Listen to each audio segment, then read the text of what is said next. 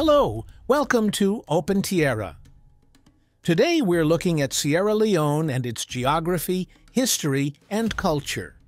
Join us and stay until the end to learn more about the nation's dark history and the resilient spirit driving its path toward a brighter future. Sierra Leone is a country located on the southwest coast of West Africa.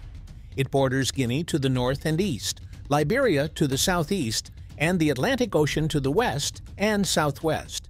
Sierra Leone has a total area of 71,740 square kilometers, or 27,698 square miles, comprising of land area of 71,620 square kilometers, or 27,652 square miles, and water area of 120 square kilometers, or 46 square miles. The country has a diverse geography consisting of mountains, lowlands, forests, beaches, and rivers. Sierra Leone can be divided into four main geographical regions the coastal belt, the interior plains, the interior plateau, and the mountain regions. The coastal belt runs along the Atlantic Ocean and comprises mangrove swamps, white sand beaches, and fishing settlements. It has a tropical climate with high humidity and rainfall. The interior plains make up 30% of the country. It consists of a wooded savanna dotted with hills and low mountains. The interior plateau covers the central and eastern parts of Sierra Leone. It consists of rolling hills, mountains, and valleys. The climate here is tropical with high rainfall. The mountainous region is located in the northeast and east of the country. The Loma Mountains and Tingi Hills are the major highlands with a temperate climate. The main rivers in Sierra Leone are the Sewa, Rokel, Pampana, and Moa rivers. All of them drain towards the Atlantic Ocean. About 60% of the country is covered in forest and woodland, consisting of tropical hardwood like mahogany, teak, and ebony. Mangrove forests are found in the coastal regions. Savanna woodlands dominate the interior plains and plateaus with grasses and scattered trees. Sierra Leone is rich in natural resources like diamonds, gold, bauxite, iron ore, rutile, chromite, and platinum. Its ocean waters contain abundant marine life and fish. The country's forests contain precious hardwood timber, Sierra Leone also has large deposits of clay, limestone, and kaolin. Agriculture is another major resource with rice, coffee, cocoa, and palm oil being the key crops. Sierra Leone is home to over 7 million people belonging to different ethnic groups, languages, and religions. The largest ethnic group in Sierra Leone is the Temne people, making up 35% of the population. They mostly inhabit the north of the country. The Mende people are the second largest group at 30% of the population residing in the southeast. Other groups include the Limba, Kono, Krio or Creole descendants, Mandingo, and Loko. Despite the diversity, these groups have coexisted peacefully for long periods. While English is the official language used in schools and government, most Sierra Leoneans speak one of the African languages as their first language. The two largest indigenous languages are Temne, spoken by 35%, and Mende, spoken by 30% as first languages. Creole, an English-based Creole language, is spoken by 95% as a secondary language for trade and communication across ethnic lines. Other native languages include Limba, Kono, Loko, and Mandinka, among others. Sierra Leone is a predominantly Muslim country, with 78% following Islam, mostly Sunni. About 20% of the population are Christians belonging to different denominations like Protestants, Catholics, and Pentecostals. A small number, around 2%, follow traditional African religions or no religion. While the North is largely Muslim, the South has a more even split between Muslims and Christians.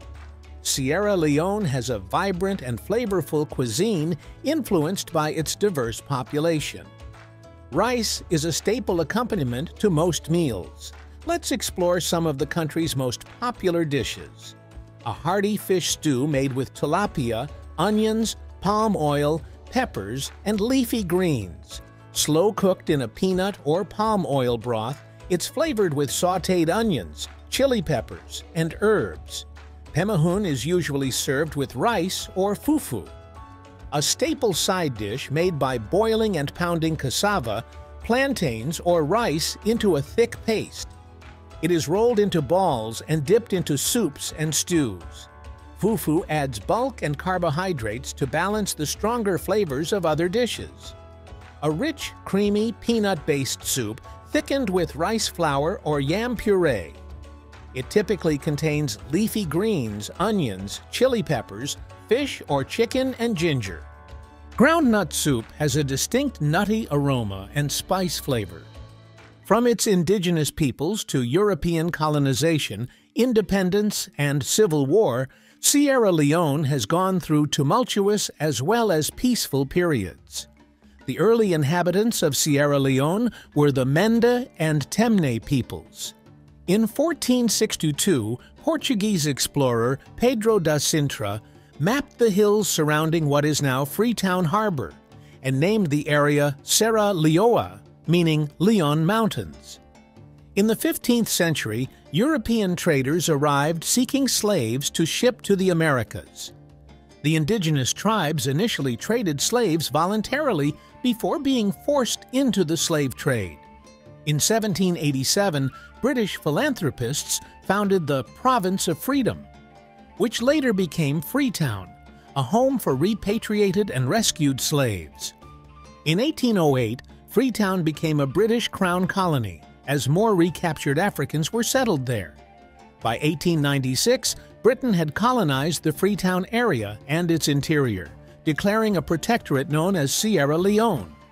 In 1951, Sir Milton Margai led the Sierra Leone People's Party to victory in the first parliamentary elections. After negotiations with Britain, Sierra Leone gained independence on April 27, 1961. Sir Milton Margai became the first Prime Minister. After his death in 1964, his half-brother Sir Albert Margai succeeded him until being ousted in the 1967 elections. In 1991, the Revolutionary United Front, RUF, launched a civil war in Sierra Leone seeking to overthrow the government. The rebels were backed by the leader of Burkina Faso, Blaise Compaoré, and the Libyan dictator Muammar Gaddafi. The RUF funded their rebellion by gaining control of the diamond mines and smuggling out diamonds to trade for weapons and cash. These diamonds came to be known as blood diamonds or conflict diamonds. The Civil War devastated Sierra Leone for over a decade, fueled by the trade in illicit blood diamonds. The RUF committed horrific atrocities, like forced recruitment of child soldiers. Tens of thousands were killed and millions displaced. Under the cover of war, rebel and government forces plundered the country's diamond wealth to enrich themselves and prolong the conflict. It became a resource war where human lives mattered less than controlling the diamond fields. International sanctions, banning trade of Sierra Leonean diamonds, finally helped cut off funding to the rebels. In 2002, the Civil War was declared over thanks to British military intervention and UN peacekeeping forces. The legacy of blood diamonds haunts Sierra Leone to this day. It weakened institutions, ruined infrastructure, and traumatized generations. Illicit diamond mining still thrives, funding organized crime and corruption. The nation still struggles to regulate its mineral wealth and prevent another conflict. Blessed with abundant natural resources, Sierra Leone has the potential to become one of Africa's leading economies. Its main economic activities include mining, agriculture, and fishing. However, the country faces challenges like corruption, inadequate infrastructure, and over-reliance on mineral exports. Sierra Leone's economic story revolves around its diamonds. These precious gems have been both a blessing and a curse for the country. While they provide major export earnings, diamonds also fueled a bloody civil war in the 1990s as rebel forces plundered the mines to finance their activities. Even today, mining drives the Sierra Leone economy, accounting for over 70% of export revenue. The country is among the world's largest diamond producers, with iron ore, bauxite, gold, and chromite mining also contributing. However, the government struggles to regulate this sector amidst rampant illegal and unethical mining practices. Another pillar of Sierra Leone's economy is agriculture, employing over 60% of the workforce. Rice is the staple crop, with coffee, palm oil, cocoa, and cashews being major exports. However, frequent droughts, poor irrigation, and lack of modern farming practices limit productivity in this sector. Abundant marine life makes fishing an important economic activity in Sierra Leone. The nutrient-rich waters support shrimping and large-scale fish production. But illegal, unreported, and unregulated fishing has depleted fish stocks in recent years. If you enjoyed this video on Sierra Leone, you'll love this next one.